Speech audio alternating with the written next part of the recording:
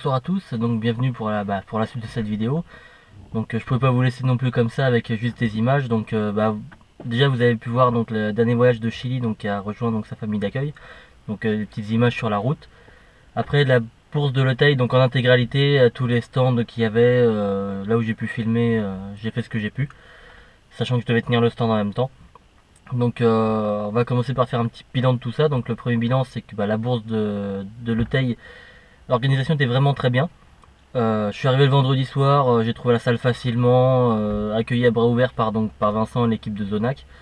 Donc vraiment nickel. un petit repas offert par l'association le vendredi soir pour tous les exposants qui étaient présents. ensuite, pareil, un petit repas offert, un petit barbecue fait le samedi soir, donc vraiment très convivial, très sympa. Je pouvais loger à la salle, donc aussi ça m'a fait des frais en moins, sachant que j'ai fait environ 600 bornes pour pouvoir y aller. C'est vrai que c'est très appréciable pour moi, quoi. Donc il n'y a pas eu trop de public à cette, euh, bourse, mais c'est un, phénomène qu'on remarque déjà depuis quelques temps.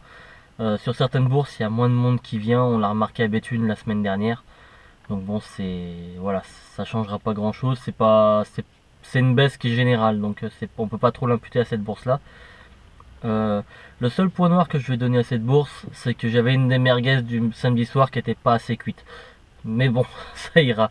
Je m'en remettrai. Mais euh, non, sinon euh, c'était vraiment très agréable, très sympa et euh, une diversité d'espèces aussi qui était vraiment pas mal. On n'est pas forcément que du PR, de, l'EM ou machin. On était plus diversifié, plus d'espèces qu'on voyait pas forcément et c'était vraiment très sympa. Pas trop de vendeurs de matériel aussi. Il y avait juste ce qu'il fallait. En insecte, il y avait juste ce qu'il fallait aussi. C'était nickel. Une petite salle bien conviviale, vraiment sympa. Donc bah, c'est dommage que je sois très loin, mais si un jour j'ai l'occasion de la refaire, bah, ce sera avec plaisir. Même si aller en visiteur sera avec plaisir aussi. Hein. Euh, ensuite, pour revenir sur le cas de, Chili, donc faut revenir déjà à tout le début de l'histoire. Donc, euh, elles ont été importées donc du Portugal euh, légalement achetées en animalerie là-bas. Donc, elles sont arrivées après en France où elles vivaient, selon les conseils d'animalerie, dans un bac haricot, sans, avec les crevettes séchées, pas de chauffé, pas de l'enfuvé. Donc, en gros, tout ce qu'il faut pas faire. Conseil de professionnels. Hein. Donc, euh, donc voilà, donc on a tout remis euh, à plat, donc avec euh, avec Gu et, et Xiwang, donc on a tout essayé de remettre tout à plat pour ces trois petites tortues. Donc malheureusement, Gu et Xiwang sont décédés juste après, une, semaine après. Donc j'ai rien pu faire là-dessus, un arrêt cardiaque certainement. c'est une c'est une intime conviction, mais je pense que ce sera jamais sûr à 100%. Donc après, bah, on a réussi à, faire que Shelly bah, qui mangeait déjà très bien puisse prendre du poids et se développer par la suite. Mais euh, bon, c'était le fait qu'elle se développe de jour en jour, c'était vraiment une, réussite. Après, le souci qu'il y avait, c'est que moi, j'ai des locaux trop petits, donc je ne pouvais pas forcément le, la garder sur le long terme. J'avais pas, j'avais pas la place.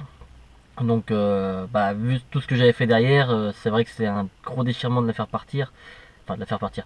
De trouver une nouvelle famille surtout.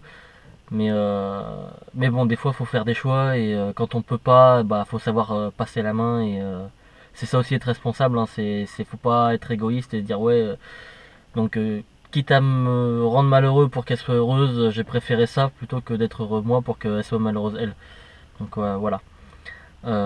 donc j'ai fait le choix de faire toute cette route parce que j'ai trouvé une famille qui voulait l'adopter, qui avait craqué dessus, mais qui a surtout des compétences dont je suis sûr à 300% euh, et, j'ai vu quelques photos déjà euh, sur la route où elle a, un super bassin et elle dégomme déjà les plantes donc c'est vrai que c'est j'ai fait le bon choix. Après c'est vrai que j'aurais aimé beaucoup la garder parce qu'elle revient quand même de loin puis je m'étais vraiment beaucoup attaché c'était mon petit pot de colle.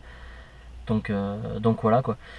Mais bon ça m'a fait une belle aventure pour moi que bon, euh, c'est après, le décès de Lielo, c'est arrivé un mois après le décès de, de Lielo, donc ça m'a remis un peu en selle, on va dire. Et, euh, au final, bah, ça fait une belle aventure derrière, euh, même s'il n'y a pas eu 100% de réussite, ça m'a fait une belle aventure.